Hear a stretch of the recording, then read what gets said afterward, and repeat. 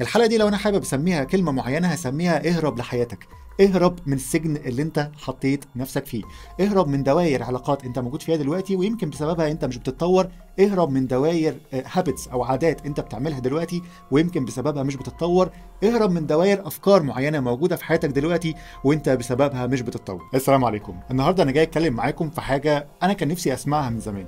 كان نفسي حد يقولها لي وغالبا محدش كتير بيحب يتكلم في الموضوع ده بالذات لأن الناس بتخاف إن هي تتكلم فيه. ورغم إنك سمعت الجملة دي أكتر من مرة قبل كده بتاعت لازم تطلع من دايرة الراحة لأنك لما تطلع من دايرة الراحة اللي أنت موجود فيها تبتدي المعجزات تحصل وتبتدي تكتشف نفسك بجد وتبتدي توصل لأي حاجة أنت نفسك توصلها في يوم من الأيام. والغريب في الموضوع إن الكلام ده بيتقال من سنة 1908 لما في دراسة في علم النفس ابتدت تجيب مجموعتين كده من البشر وابتدوا إن هم يقيسوا الإنتاجية بتاعتهم ضد فكرة الضغط اللي موجود عليهم. وضد فكر الراحة اللي هم موجودين فيها. ولو ساعتها إن المجموعة اللي مش بتكون مرتاحة هي دي المجموعة اللي بتكون أكثر إنتاجية. والحقيقة لما تيجي تبص على الكلام ده دلوقتي في 2023 وتقيسه علينا تلاقي ان في حاجات كتيرة جدا بتفسر إحنا ليه واقفين في المرحلة اللي إحنا فيها دلوقتي. ببساطة لأن إحنا ما تعودناش على الجديد. ببساطة لأن إحنا ما تعودناش إن إحنا نطلع بره مناطق راحة ومناطق أمان إحنا موجودين فيها. الكلام ده أنا يمكن عرفته من الكتب ويمكن كان أشهر كتاب اتكلم عن الموضوع ده على فكرة هو moved my cheese أو مين حرك قطعة الجبن الخاصة بيه. وبغض النظر عن قصة الكتاب ده اللي أنا هحكيها لكم في نص الحلقة دي فلازم تبقى بتتابع الحلقة كويس جدا لأن أنت هتاخد زتونه كتاب كامل في دقيقة واحدة إلا إن فكرة إن أنت تكون بتطلع بره منطقة أمان أنت موجود فيها هي فكرة بجد هتساعدك إن أنت تكون بتتحرر من قيود ومن سجون أنت موجود فيها دلوقتي. وهتعرف إزاي تتعامل معاها وهتعرف إزاي تحدد أصلا إيه دايره الراحة اللي أنت موجود فيها. كل الكلام ده موجود في الحلقة دي فتابعوها كويس جدا لأن دي قد تكون من الحلقات اللي فعلا هتغير في حياتك لو أنت ركزت فيها.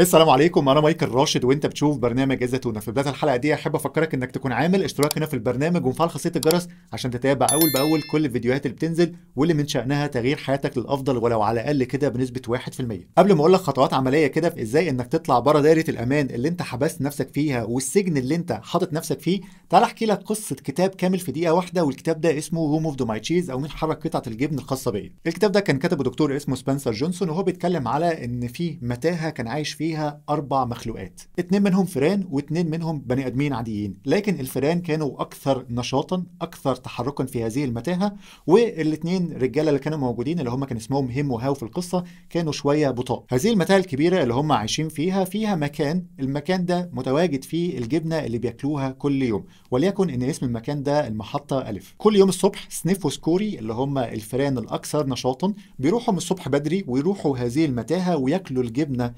الخاصه اللي موجودة في هذه المحطة لكن الاتنين رجالة اللي هم هيم وهاو بيتأخروا كتير عقبال ما بيقوموا وبيتحركوا بالراحة عقبال ما بيوصلوا للمكان ده بيكون أصلا الفئران اللي كانت موجودة خلصت أكل ومشيت. وفي أحد الأيام الاتنين رجالة اللي هم اسمهم هيم وهاو بيروحوا هذه المحطة فبيلاقوا إن مفيش جبنة. بيفضلوا قاعدين وبيفضلوا يتحسروا وبيفضلوا يتساءلوا هي فين الجبنة بتاعتنا؟ مين اللي حرك قطعة الجبن؟ ولكن مفيش أي إجابات. وبرضه بيلاحظوا إن مفيش فئران بتيجي تدور على الجبنة ودي حاجة غريبة. يعني هل الفئران هي اللي حركت الجبنة؟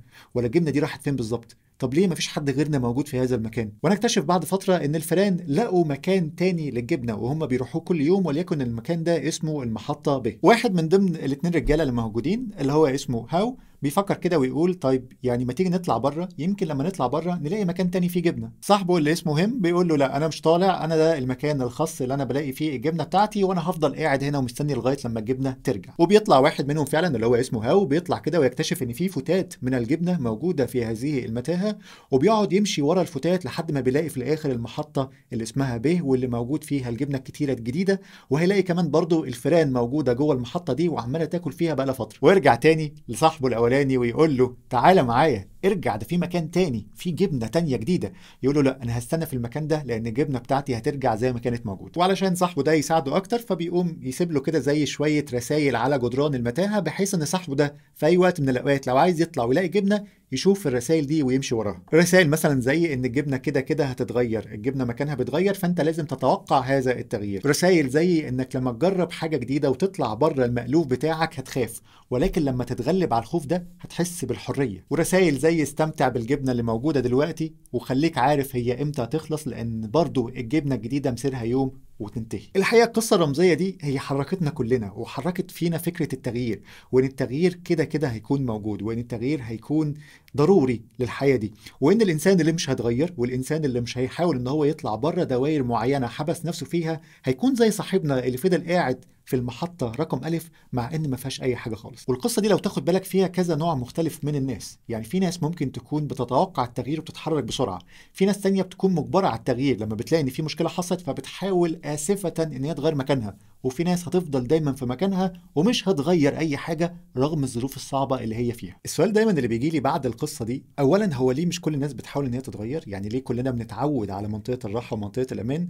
وتاني حاجة طب إزاي أقنع حد وإزاي أقنع نفسي إني أطلع بره الدايرة دي عشان ألاقي الحاجات الجديدة وألاقي المعجزات وألاقي النجاح اللي أنا ممكن أكون اوصل له. أحد الدراسات المنطقية في علم النفس بيقول لك كده إن أي منطقة أمان أنت موجود فيها ودي اللي بتعبر عنها فكرة إن أنت قاعد مبسوط باللي أنت بتعمله ومش حاسس إن أنت المفروض تكون بتغير حاجة مش حاسس إن أنت المفروض تكون بتتعب أكتر من كده واتعودت على هذا الشكل اللي أنت موجود فيه أحد الدراسات بتقول لك إن هذا الشكل اللي هي ال comfort zone دي اللي براها دايما بيكون بالنسبة لنا حاجة بنسميها ال fear zone أو منطقة الخوف. وده اللي كان موجود جوه القصة. لما ابتدى Haw يطلع بره المتاهة ابتدى إن هو يخاف في البداية. وده اللي بيحصل لينا كلنا.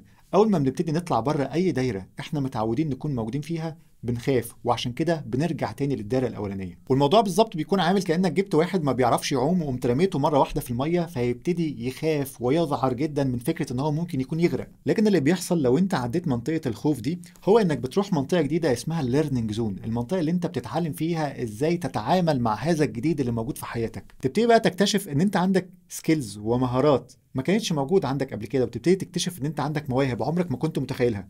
وتبتدي تكتشف إن أنت كان في وقت من حياتك وطاقاتك مهدر في إن أنت دايما موجود في نفس المنطقة. كأني بعد ما جبتك ورميتك في المية وأنت خفت في البداية إن أنت تغرق ابتديت تعمل كده بإيديك أي كلام علشان تطلع تاني على السطح وابتديت تتعلم إزاي تعوم. وده بياخدنا بدوره للمنطقة الأخيرة واللي إحنا بنسميها ال growth zone أو منطقة التطوير. دي المنطقة بقى اللي أنت بتحقق فيها حلم أو بتوصل فيها لحاجة كبيرة أو بتكون أنت نفسك legacy يعني بتكون أنت نفسك أسطورة قدرت تسيب حاجة لهذا المجتمع وحاجة يكون بجد بيستفيد منها. ممكن تكون حققت ذاتك بشكل كبير ووصلت لأعلى مراحل تحقيق الذات اللي هو ال self actualization وممكن تكون قدرت إنك تعمل حاجة كبيرة وممكن تكون قدرت تحط معنى بجد لحياتك. ولما نيجي نبص على هذا الشكل فهنلاقي كده إن الحاجة اللي بتمنعنا دايما إن إحنا نطلع بره الحاجات المألوفة والحاجات الطبيعية اللي إحنا بنعملها هو إن إحنا لا إما بنكون خايفين من هذا المجهول لا اما إحنا مش عارفين إن إحنا ممكن نوصل لحاجة تانية. اهم رساله ممكن أقولها لك دلوقتي هو إنك عمرك ما هتوصل لأي حاجة أو لأي نجاح أو لأي إنجاز أنت ممكن تتخيله في حياتك طول ما أنت حابس نفسك جوه هذا السجن المسمى بمنطقة الأمان. هذا المكان اللي بيخدعك إن أنت دايما كده موجود في أحسن صورة من صور الأمان والراحة والإنتاجية اللي أنت ممكن تكون موجود فيها. ولكن العكس هو اللي بيحصل. العكس إن الدنيا بتكون بتتغير وأنت اللي حابس نفسك في هذا السجن وبالتالي انت اللي بتخسر حياتك بإيديك. سمعنا قصص كتير عن ناس فضلوا جوه الكمفورت زون بتاعتهم ولما الدنيا اتغيرت لأن التغيير كده كده حتمي سمعنا إن الناس دي عانت بشكل كبير جدا وناس ممكن تكون خسرت شغلها أو ناس خسرت حياتها أو ناس خسرت حاجات كبيرة جدا في حياتها بسبب إن هي ما اتحركتش. وتاني برضو حابب أكد عليك إن الموضوع ده دراسة اتعملت سنة 1908 أنت بس اللي متأخر في إن أنت تكون بتعرفها أو بتطبقها في حياتك. مش بس كده مجلة نيويورك تايمز اتكلمت مخصوص عن هذا الموضوع واتكلمت على أضرار فكرة ال comfort zone اللي انت ممكن تكون موجود فيها دلوقتي. فانت عندك تجارب بتقول لك الموضوع ده وعندك ناس انت تعرفهم وانت نفسك شخصيا ممكن تكون واحد منهم وعاشرت الموضوع ده. وعندك برضو كتب بتتكلم عن هذا الموضوع ولكن برضو في الآخر انت واقف في نفس المكان وفي نفس ال comfort zone في نفس منطقة الراحة اللي انت مش عايز تطلع منها. تعال أقول لك بقى كده إزاي تطلع بره ال comfort zone دلوقتي؟ يعني إيه الخطوات اللي انت المفروض تكون بتعملها عشان تتحرر وتطلع بره السجن ده وتهرب لحياتك تهرب لمستقبلك. ما تفضلش قاعد مستني الدنيا تكون بتتطربق يعني عليك وعلى كل الأحلام اللي ممكن تكون جت في حياتك في يوم من الأيام. أول حاجة محتاج تعملها هو إنك تحدد إيه هي ال comfort zones اللي أنت حاطط نفسك فيها. من ناس حواليك من شغل انت ممكن تكون موجود فيه من أحلام موجودة في عقلك وممكن تكون من أفكار برضو موجودة في عقلك. وممكن بمنتهى البساطة ال comfort zone دي تكون هي الراحة الجسدية اللي انت أصلا بتدور عليها. فكرة إن أنا عايز أكون باخد أجازة وخلاص وعايز أكون بفصل دماغي من كل ال stress أو من كل التوتر اللي موجود فيها ده أو عايز أعمل حاجات بنفس الطريقة ومش عايز أتعب نفسي بتفكير مختلف. فمن الآخر كده حاول تحدد السجن اللي انت موجود فيه لأن كل واحد أكيد ليه سجن مختلف هو عايش فيه. تاني حاجة حاول تعمل حاجات جديدة ومختلفة كل ما تقدر تعمل حاجة جديدة. اقرأ كتاب جديد اتعلم حاجة جديدة حاول إنك تعرف ناس جديدة حاول إنك تاكل أكل جديد حاول إنك تغير روتين يومك حاول إنك تصحى بدري شوية عن الميعاد اللي أنت كنت متوقع إن أنت بتصحى فيه كل يوم حاول إنك تغير الشكل الطبيعي بتاع اليوم اللي أنت ممكن تبقى بتعيش بيه حاول تعمل حاجة تطلع بيها بره إطار الشخص اللي أنا ممكن أحدده في مجموعة من ال actions واللي موجود قدامي دلوقتي. وعلى فكرة في فيلم حلو جدا هو بيتكلم أصلا عن النقطه دي بالذات اسمه Yes Man لجيم كاري. لو أنت حابب يعني تتفرج على فيلم يقول لك نفس المعلومة اللي انت خدتها دلوقتي في ثانيتين ثالث حاجة لازم تكون بتعملها دايما هو إنك تستثمر في التعليم وإنك تستثمر في تطوير نفسك. ليه؟ لأن أنت لما بتبتدي تطور في نفسك بتبتدي ترسم أهداف جديدة وبتبتدي تعرف قدراتك اللي أنت ما كنتش واخد بالك منها هي عاملة إزاي بالظبط. ده بيفتح لك أفق جديدة في التفكير وبيخلي العقل بتاعك يتمط كده يتشد. بتوصل كده لحالة بنسميها ساعات ال stretching بتاع ال comfort zone اللي هو ممكن بيها ما تكونش بتهد المعبد على اللي فيه زي ما في ناس كتير بتعمل ولكن على الأقل تكبر ال comfort zone بتاعتك.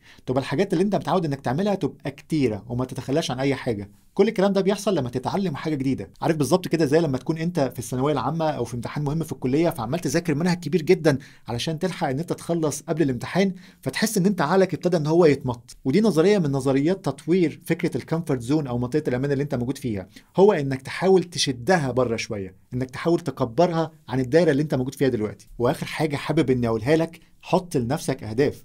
ما ينفعش تعيش حياتك انت فيها كأنك رد الفعل دايما لكل حاجة. انت بتتحرك من شغل للتاني بناء على فكرة العرض والطلب اللي موجود قدامك. انت بتتعرف على ناس بناء على فكرة مين عرفني على مين أو آه، عرفت إزاي الناس اللي موجودة دلوقتي في حياتي. انت بتوصل لأي حاجة بناء على فكرة هي الحياة واخداني لفين. أنا مش عايزك تكون رياكتيف مش عايزك تكون رد فعل لهذا العالم. لأنك لو فضلت معتمد ان انت رد الفعل دايما هتفضل تشتكي من الظروف ودايما هتفضل تشتكي من وضعك الحالي وهيفضل ده كله بالنسبة لك هو منطقة أمان جديدة. وعايز أقول لك بمنتهى الأمانة بمنتهى الأمانة اللي في الدنيا هو ده الكلام اللي أنا عشته في حياتي. كل ما أنا كنت بحس إن أنا في comfort zone بحاول أطلع منها بحاول أعمل حاجة جديدة.